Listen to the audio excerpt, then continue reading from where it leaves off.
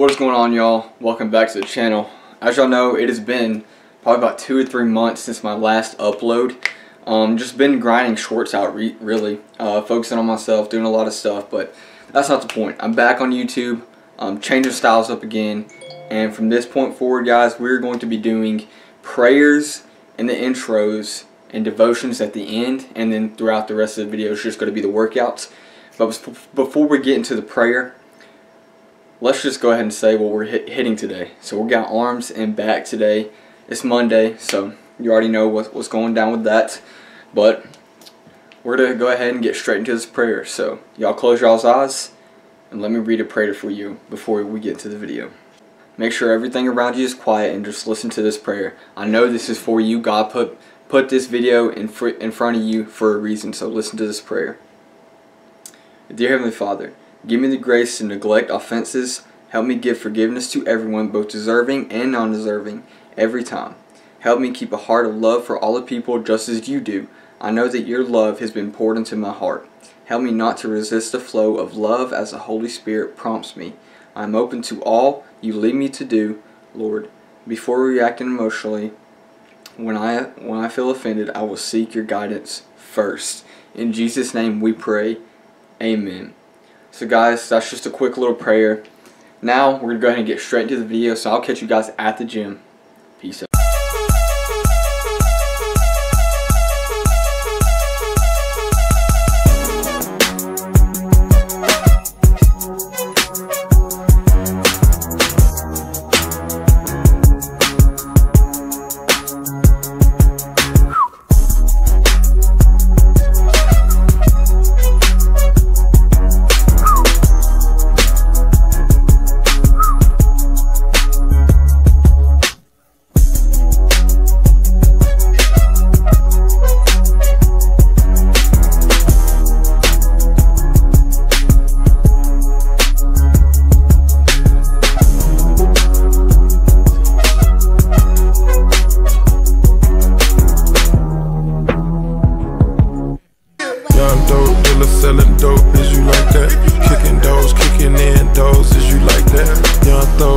Selling lows, is you like that?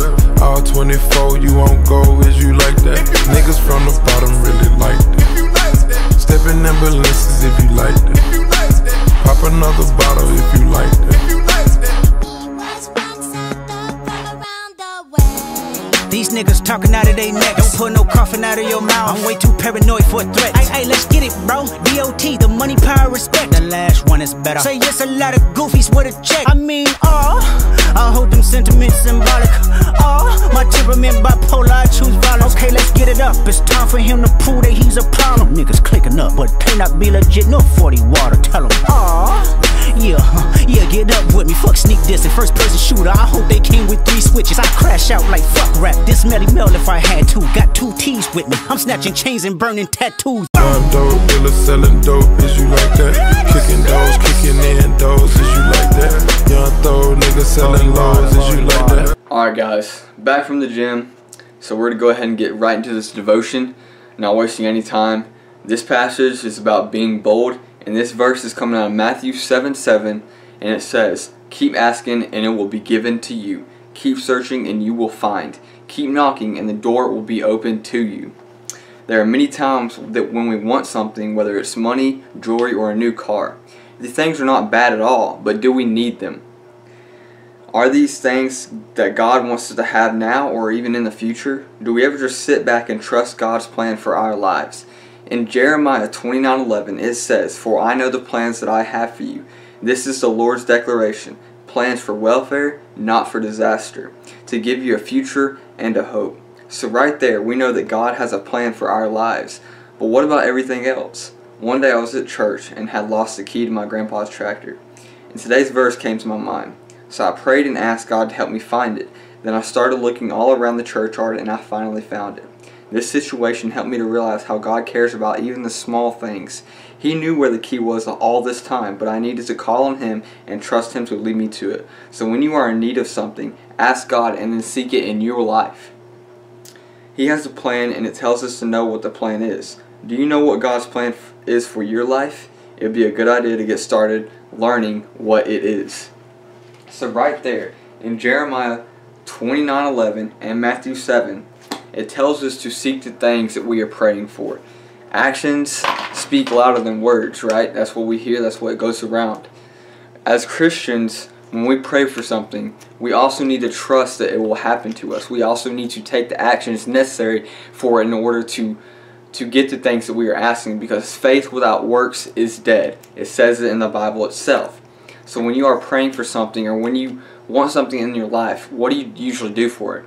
You either go to work to get the money to buy it, you either put in the time and effort to get better at it, or a lot of us we just pray for it and don't act on act on anything. We just want something but don't take the steps necessary in order for us to get it.